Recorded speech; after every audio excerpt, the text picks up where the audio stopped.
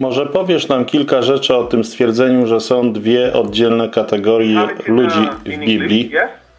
Maybe you tell us few things about this statement To jest Izrael ze Starego Testamentu. in the Bible. There is the Israel of the Old Testament. I odrębnie wszyscy wierzący w Nowym Testamencie, zwani również przez niektórych duchowym Izraelem lub Kościołem. Czy jest to prawidłowa argumentacja, którą niektórzy wykładowcy propagują? Niektórzy nauczyciele podają, że Kościół to duchowy Izrael. Co sądzisz o tym? To jest długie i trudne zagadnienie i moglibyśmy mieć cały wieczór na ten temat. Musimy rozróżnić dwie rzeczy. Now, I think we have to distinguish two things.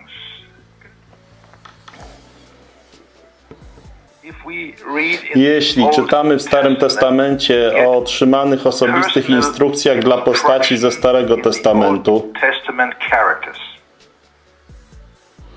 jeśli czytamy w Starym Testamencie o otrzymanych osobistych instrukcjach dla postaci ze Starego Testamentu, If we turn, if we turn, for example, to 1 Corinthians chapter 10, jeśli zwrócimy się na przykład do pierwszego Koryntian, rozdział 10,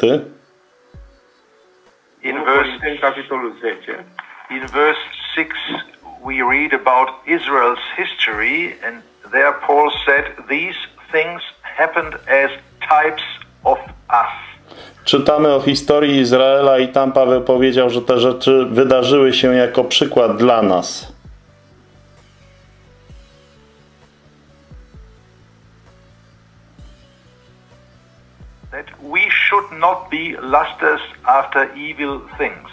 Abyśmy nie byli pożądliwi złych rzeczy. Instruction. To jest osobista instrukcja. In chapter verse 11, Ten sam rozdział, werset 11. all these things happened to them as types and have been written for our admonition. Wszystkie te rzeczy przytrafiły się im jako typy i zostały zapisane dla naszego napomnienia. And then we turn to 2 Timothy chapter 3 verse 16 A potem przechodzimy do drugiego Tymoteusza, rozdział 3, werset 16. verse uh, the verse I have already quoted a little bit. There we read that every scripture verse 16 every scripture including the Old Testament is divinely inspired Czytamy, że każde pismo, włącznie ze Starym Testamentem, jest bosko natchnione. it's profitable for teaching, conviction, correction and instruction. Jest użyteczne do nauczania, przekonywania, poprawiania i pouczenia. Instruction in righteousness that means in practical righteousness. Aby instruować sprawiedliwości, to znaczy w praktycznej sprawiedliwości. Now, in the Old Testament, we get practical lessons for our everyday life. Teraz w Starym Testamencie dostajemy praktyczne lekcje dla naszego codziennego życia. To jest jedna strona prawdy. There is another one that is the so called dispensational teaching. Jest jeszcze jedna, która jest tak zwaną dyspensacyjną nauką. If we compare Israel in the Old Testament and the church in the New Testament, Jeśli porównamy Izrael w Starym Testamencie i Kościół w Nowym Testamencie, znajdziemy bardzo ważne różnice. very, very important. Znajdziemy bardzo ważne różnice. Israel's calling was an earthly calling. Powołanie Izraela było powołaniem ziemskim. Calling of the church is a heavenly calling. Powołanie Kościoła jest niebiańskie. Secondly, Israel was always separated from the nations. Po drugie, Izrael był zawsze oddzielony od narodów.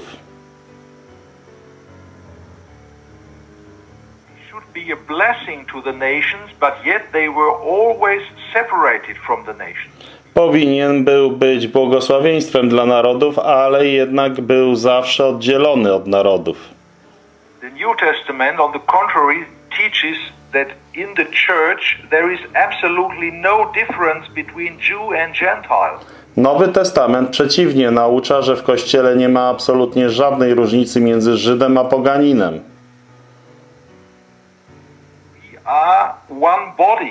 Jesteśmy jednym ciałem. Jest to coś zupełnie nieznanego w Starym Testamencie. Kościół nie jest duchowym Izraelem. Kościół jest nieznany w Starym Testamencie. Let's turn to Colossians chapter 1 in order to prove that. Przejdźmy do pierwszego rozdziału Kolosan, aby udowodnić to. Colossians chapter 1 Kolosan, rozdział pierwszy, uh, verse 25 and 26 y, wersety 25-26, aby udowodnić to, że ciałem Chrystusa jest Kościół, że tego Kościoła sługą został Paweł zgodnie z postanowieniem Boga powziętym co do Pawła, aby w pełni rozgłosił Słowo Boże, o czym mówią wersety 25 i 26.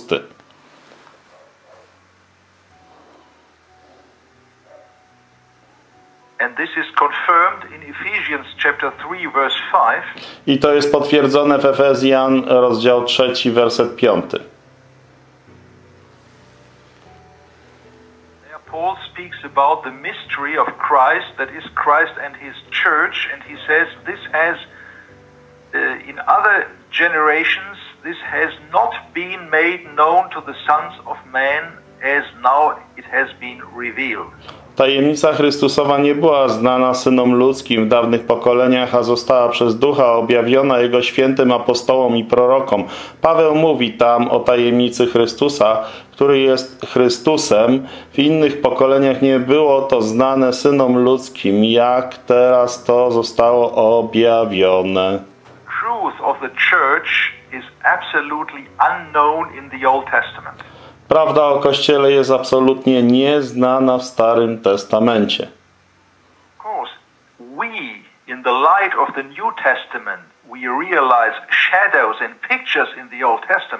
Oczywiście my w świetle Nowego Testamentu zdajemy sobie sprawę z cieni i obrazów w Starym Testamencie.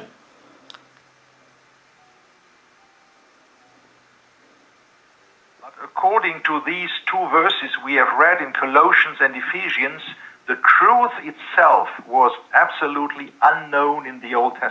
Ale zgodnie z tymi dwoma wersetami, które czytamy w Kolosan i Efezjan, sama prawda była absolutnie nieznana w Starym Testamencie.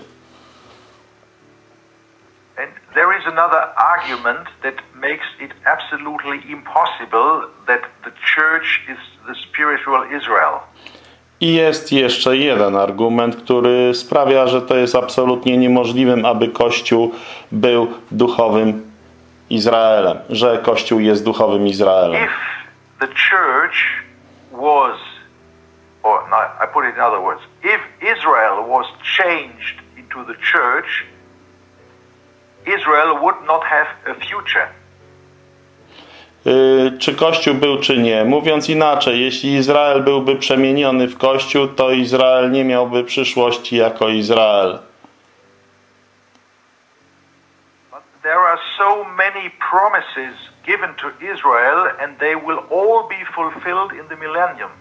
Ale jest tak wiele obietnic danych Izraelowi i wszystkie one zostaną spełnione w czasie milenium, jak zacznie się nowe przymierze. For this reason, it is not according to Scripture to say that the church is the spiritual Israel. Więc z tego powodu jest to niezgodne z Pismem Świętym mówienie, że Kościół jest duchowym Izraelem, bo nie jest Izraelem w żadnym sensie. If we read the Bible, we see there are different dispensations or households. Jeśli czytamy Biblię, to widzimy, że są różne dyspensacje lub domostwa.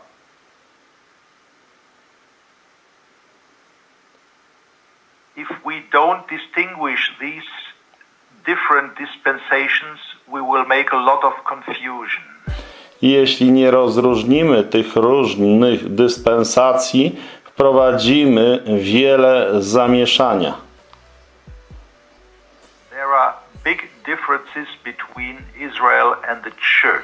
Istnieją wielkie różnice pomiędzy Izraelem a Kościołem. Reading the history of Israel, we get a lot of personal instruction, yes, Więc czytając historię Izraela dostajemy wiele osobistych instrukcji. we also get shadows and pictures of the church in the Old Testament. Znajdujemy też cienie i obrazy Kościoła w Starym Testamencie.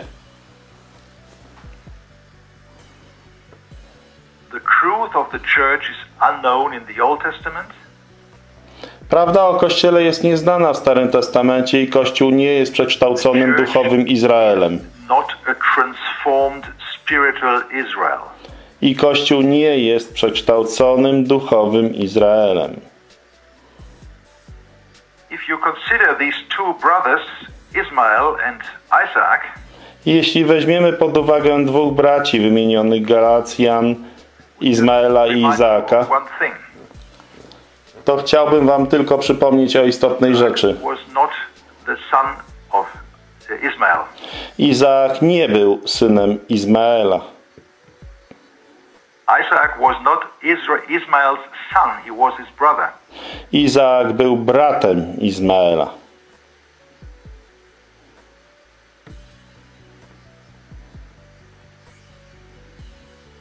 So he was not a successor of Ismail, but he was his brother. They had the same father. Więc nie był następcą Izmaela, ale był jego bratem. Mieli tego samego ojca. Yes. So that makes it very clear that the argument that Isaac is the church and Ismail is Israel, is, is Israel under the law does not make sense. Tak więc to czyni bardzo jasnym, że argument rzekomo, że rzekomo Izaak jest kościołem, a Izmael jest Izraelem, Izraelem pod prawem, nie ma sensu. Don't mix up Israel and the church. These are two different things that Scripture clearly distinguishes.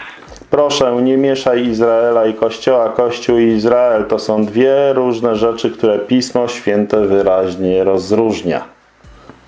So I hope this will be of a little help for you. Więc mam nadzieję, że to będzie choć trochę pomocne dla Ciebie.